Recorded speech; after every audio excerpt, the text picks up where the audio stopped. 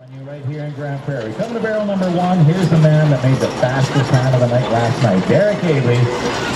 Derek Aebly from right here in Grand Prairie. Field Generation, our field foreman for Seven Generations Energy, sponsored by Horizon Hauling out of Sexsmith. Here we go at heat two. It's Rick McRorie at four, Kelly Somerville at three, Lane Kimble at two. Here comes Derek Aebly at one.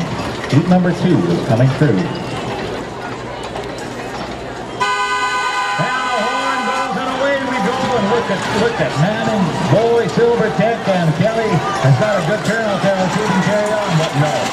Look at this. Shadow Rathole drilling Rick McRorie shows what it's all about. He's going to try and move over and take away that rail spot everybody else. And that's exactly what he's done.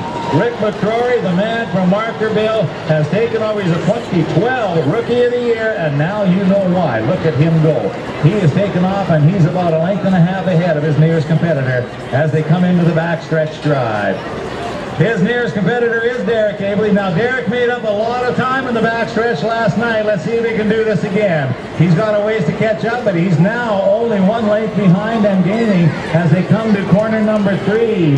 We've got Kelly Somerville and Silvertech in third spot out there. And looking at the inside is Lane Kimble. He's going to make things happening on the uh, fourth corner and on the home stretch drive. Let's see if we can give these boys a push as we look outside and we see Derek Aebly coming in now. He's going to try and take over Rick McRorie.